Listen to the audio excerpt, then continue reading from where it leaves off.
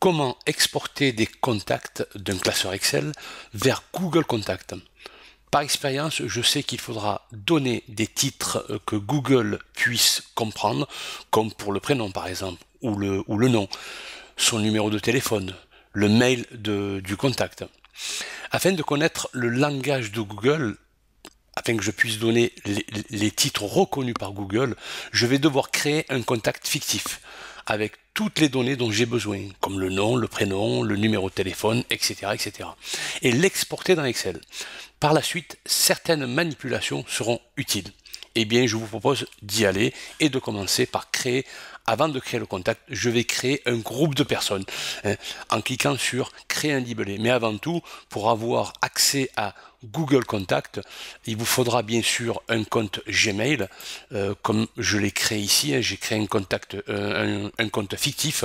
Par la suite, cliquez sur application Google et vous cliquerez sur Contact. Ou bien allez directement dans euh, votre moteur de recherche si vous ne l'utilisez pas euh, Google comme moteur de recherche et tapez Google Contact. Par la suite, vous irez sur Google Contact et vous afficherez bien sûr votre mail ainsi que, votre, que vos mots de passe. Alors, je reviens sur Google Contact. Ici, je vais créer un groupe de personnes, hein, par exemple, je sais pas moi, groupe professionnel ou euh, groupe d'une société ou groupe famille, etc. Donc je vais cliquer sur créer un libellé et ici je vais par exemple l'appeler test contact. Je vais cliquer sur enregistrer. Et par la suite, je vais recliquer de nouveau sur test contact afin de créer mes euh, contacts dans ce groupe.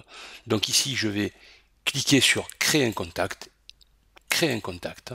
Et ici, par exemple, je vais lui donner comme nom, comme prénom, euh, je sais pas moi, Alain, euh, j'invente, hein, Dupuis. Euh, J'aurais pu mettre l'entreprise, la fonction. Bon là, je n'en ai pas nécessairement besoin. Son email, hein, donc je vais partir du principe que c'est la première lettre du prénom, le nom, Alain Dupuis, at. Je vais tiens, le mettre chez orange.fr et je vais lui donner aussi un numéro de téléphone 07 euh, je sais pas moi 30 25 90 et 15 je clique sur enregistrer. Donc je, fais, je ferme ce contact, il est bien créé, et je vais à présent faire une exportation. Et ici, je vais choisir Google CSV je, choisis bien sûr le groupe euh, pour lequel euh, j'ai créé mon contact, en, en, l'occurrence texte contact. Donc je fais exporter et ici un fichier CSV Excel va être créé. Je vais le mettre sur le bureau, sur mon bureau. Je vais réduire mon moteur de recherche, il est ici. Alors je vais ouvrir ce fichier. Donc c'est un fichier Excel CSV, c'est-à-dire un fichier texte. Et là, bon, j'ai fait un test avant euh, de passer par autre chose. Euh, j'ai voulu, parce que là, si on, vérifie, toutes les données se trouvent dans uniquement une colonne. Donc c'est pas ce que je veux. Moi, je veux que, je souhaite que euh, chaque colonne ait son titre, name, prénom, numéro de téléphone, adresse, email, etc., etc. Donc j'ai essayé avant de passer par Power Query, d'aller dans Données, ici Convertir. Je fais suivant. Donc là, apparemment, ça fonctionne, mais pas tout à fait. Je n'ai pas mon contact, en fait. Donc je fais suivant. Et ici, je vais faire terminer. Et là, mon problème n'est pas réglé. Hein. Ça reste toujours dans euh, le même... Euh, Là, le contact, je le vois même pas. Donc, je suis pas. Et là, vous voyez, donc Alain Dupuis, le contact que j'ai créé, c'est toujours dans la même, la même colonne. Donc, je suis passé par autre chose. Donc, je vais fermer ce, classeur hein, que j'ai exporté de, de, Google Contact. Je vais ouvrir un autre classeur et je vais importer le classeur que j'ai créé contact.csv via données ici, dans le groupe récupérer et transformer des données, obtenir des données à partir d'un fichier fichier texte CSV. Donc je vais chercher mon fichier qui est sur le bureau, voilà contact.csv, importer. Donc Power Query s'active et je vais me euh, débarrasser entre guillemets des colonnes qui ne m'intéressent pas. Donc je vais aller dans transformer des données. Je suis dans Power Query. Je sélectionne en maintenant mon doigt enfoncé sur la touche contrôle les colonnes euh, qui m'intéressent, en savoir name, given name, family name. Je vais avancer avec mon, mon, ascenseur. Alors j'avance, j'avance et voilà j'ai le groupe que j'ai créé, test contact, je vais le garder, l'email et le numéro de téléphone. Je, je, lâche mon doigt de la touche contrôle, je clique sur ma souris, clic droit, supprimer les autres colonnes.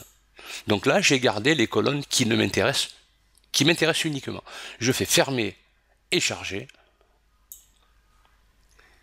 et une feuille Excel apparaît et à partir de là, je peux créer de nouveaux contacts. Donc là, par exemple, je vais créer, euh, je ne sais pas moi, euh, Paul Durand pour name. Donc là, j'ai le nom et le prénom. Paul Durand. Donc là, le prénom, Paul. Durand pour le nom. Euh, le test, le groupe, je le laisse. Groupe membership, je laisse. Donc là, je vais, par exemple, créer un mail fictif, p durant gmail.com et un numéro de téléphone fictif. Donc je ne sais pas moi, 06, 15, 20, 35 et 20. Donc 10 chiffres. Je vais en créer un autre. Aline, par exemple, Aline Lothar, par exemple. Lothar. Donc je vous rappelle que ces euh, euh, contacts n'existent pas, hein. c'est des contacts purement fictifs. Donc là, given name, c'est le prénom, Aline. Family name, c'est le nom, Lothar. Et je vais aussi créer un mail à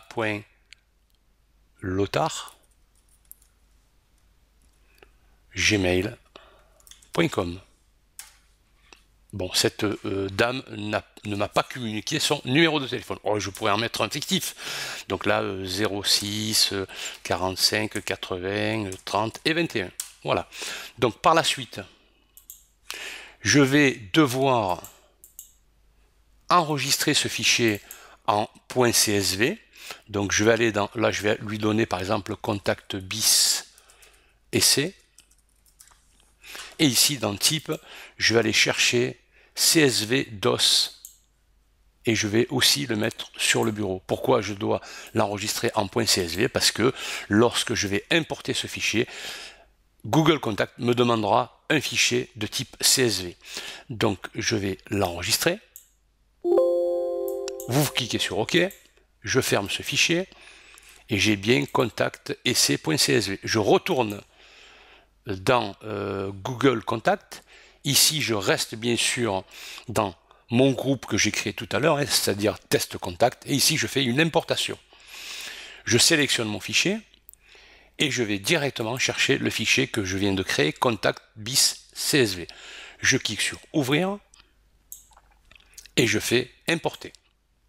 Donc j'attends un petit instant et comme on peut le voir, les contacts que j'ai créés ont bien été importé. Donc là, si je vais dans test contact dans mon groupe, je les ai bien. Donc Alain Dupuis est en doublon. Pourquoi? Parce que je l'avais déjà créé au préalable euh, dans euh, euh, Google Contact. Donc je pourrais éventuellement supprimer un.